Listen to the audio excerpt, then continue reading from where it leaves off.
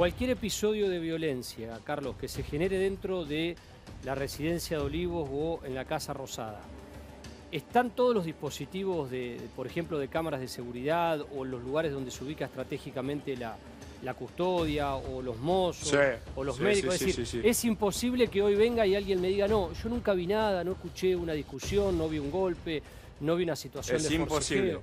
Bueno, ahí está. ¿Cómo? Repetilo, mirá. Es imposible. Es imposible. Tenés en la entrada tenés custodia, ¿Ah? en los pasillos tenés, eh, bueno, ya tenés la cocina directamente, está lleno de mozos. Claro. Vas a otra sala, tenés custodias. eh, Claro.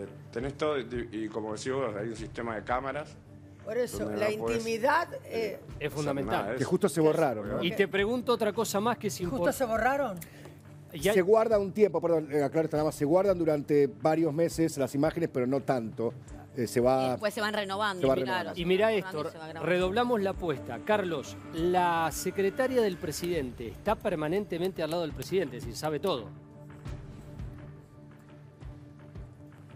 Sí, sí, sí, sí, sí, sí. ¿Ya sabes eso En- con tu en padre? el caso de, de papá era...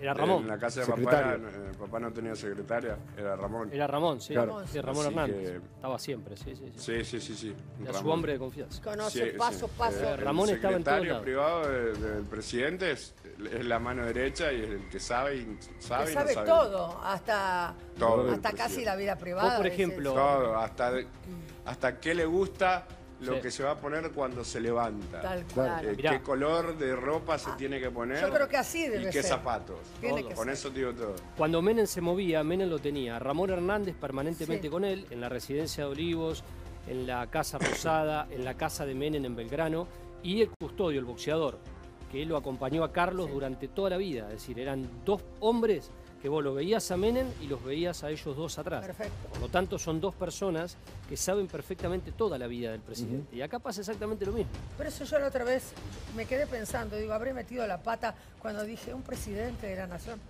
no tiene una vida privada, privada. Y es es difícil. muy Son difícil. Cuatro difícil años que tenés No, que yo me quedé dedicarlos a pensando, eso. habré metido la pata, pero... No. No, vida privada dice, sí, porque la en- relación en la con sus cocina hijos, con tenés su mujer, eh, tienen gente que en la cocina, en los pasillos, en la salida, todos lados. ¿Dónde Bueno, está? pero deben, deben tener Bueno. una privacidad, digo, de que por ahí hasta En hacen terapia. Llevémoslo a algo más pequeño, Carmen, que es aquel, aquel matrimonio o aquella pareja, no sé qué pensás, Carlitos, que tiene una, una persona con cama adentro.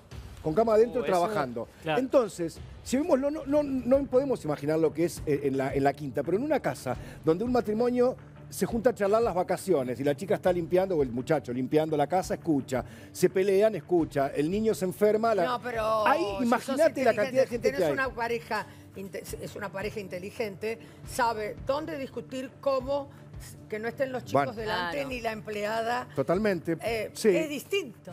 Pero Igual muchas a, veces... a mucha gente gente, conocida se le ha escapado de las manos y cuántas empleadas este, han salido a Bueno, hablar. y ahora yo voy